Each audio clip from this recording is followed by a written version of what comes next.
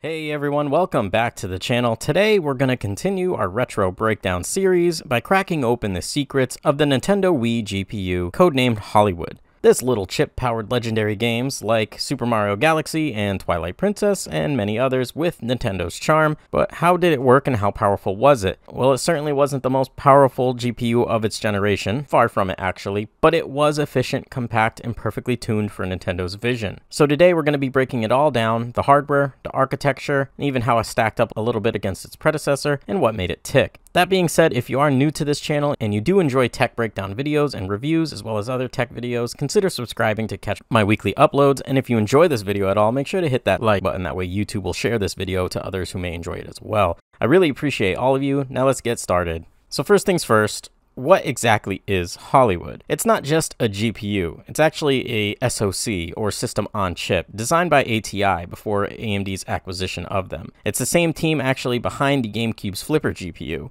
This GPU was unique in Nintendo's console history because instead of building something completely new, they actually took what worked with the GameCube and essentially refined it. Hollywood is built on a 90 nanometer process, later shrinking to 65 nanometers in newer revisions, and inside we've got multiple components packed into one package. This is what's called a multiple chip module or MCM. The main star here is the Vegas die, which is the GPU and does all the heavy lifting for the graphics, I/O, and even audio processing. Inside Vegas, we've got 3 megabytes of embedded DRAM, of which 1 megabyte is used for caching and 2 megabytes for Z buffering and frame buffers. The GPU runs at 243 MHz clock speed and sports one vertex shader for geometry, four pixel shaders for blending and manipulation of textures, four texture mapping units for texture application, and finally four render output units to handle the final step of rendering. Then there is the Napa, the second die, which holds 24 megabytes of 1T SR RAM, a fast memory pool that is shared between the GPU and the CPU. One little note I want to throw in here is later Wii revisions, codenamed Bollywood,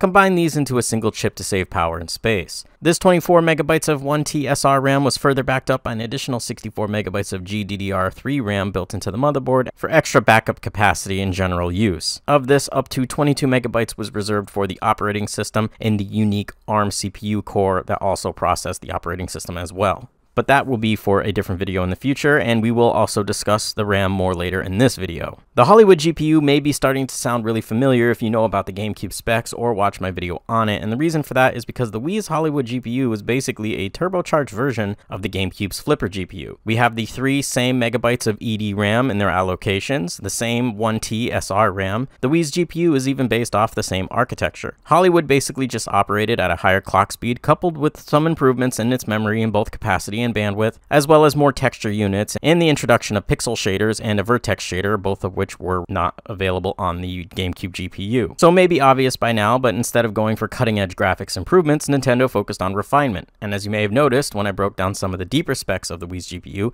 it also sticks with the same fixed function pipelines like the GameCube, meaning still no fancy programmable shaders like the Xbox 360 or PS3 of the same generation. But it still does have the same texture environment unit, or TEV, from the GameCube. This TEV was important because it can blend up to 8 textures, like specular maps, diffuse maps, normal maps, and more across 16 stages, which is how games like Wind Waker on GameCube pulled off cel shading, or how Mario Galaxy achieved those glossy effects with character models without any issues. Certainly better to have in the scenario where having programmable unified shaders is not an option. Now I want to touch back on the RAM setup for the Wii that I briefly mentioned earlier to tie this all together and break it down more specifically. Basically, the Wii had 88 megabytes of total RAM, split into three types. The 3 megabytes of EDRAM built into and dedicated to the GPU, providing a total of 12.8 gigabytes a second of memory bandwidth, 24 megabytes of 1T SR RAM shared between the IBM powered Broadway CPU and the Hollywood GPU for game data and textures and ran at 3.9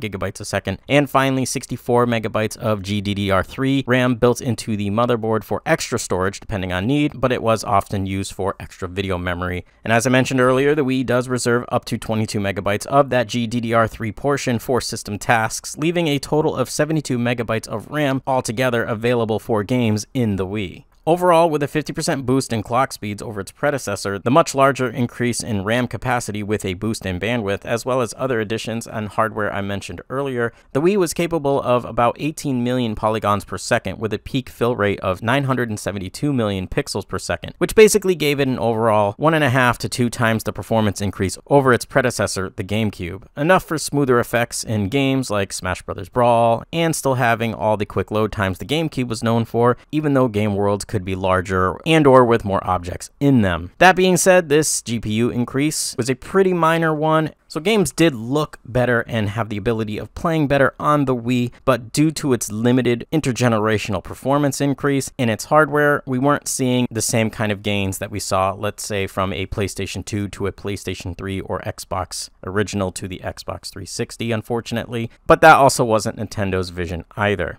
And a lot of people already know that the Hollywood GPU in the Wii is certainly the underdog of its competitors. The PS3 and Xbox 360 all had state of the art hardware for its time, with hardware features and graphics capabilities just not possible on the Wii. Even at a basic level, and talking about just clock speeds, the 360 and the PS3 ran at more than twice the speed of the GPU in the Wii, both at 500 and 550 megahertz respectively, and were capable of pushing out 720p or higher HD resolutions in many games. And the Wii, on the other hand, topped out at the same 480p resolution as the GameCube. No HD textures, no crazy shaders or high definition graphics, just optimized visuals with Nintendo's charm behind them. So that's basically the Hollywood GPU inside the Wii in a nutshell. More of what would be considered a mid-generation refresh today, hardware improvement wise, all built on the GameCube DNA. But as we discussed already, that is okay too because Nintendo did not focus on getting the highest end hardware in their system and it has been that way for Nintendo ever since. Nintendo bet on and still continues to bet on gameplay and innovation over raw graphical power and the Wii delivered despite the hardware that it has, helping it sell well over 100 million units. And personally, I never owned a Wii, but but I respected what it was able to do. At the time that the Wii was out, I was also in high school, and back then all my friends and people in school would talk about would be playing Halo 3 on Xbox Live or Killzone 2 on the PlayStation Network. And my options and what games or consoles I could own back then were very,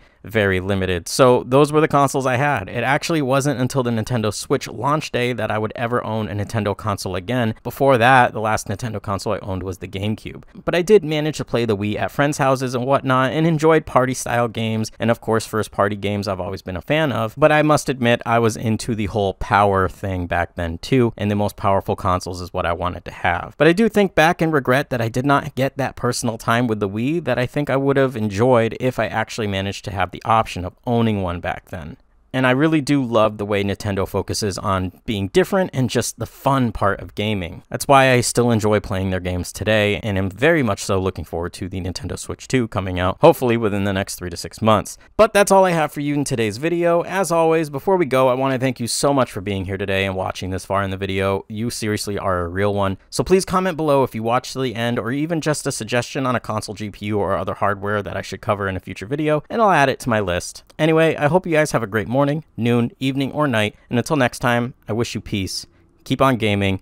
Have a great day.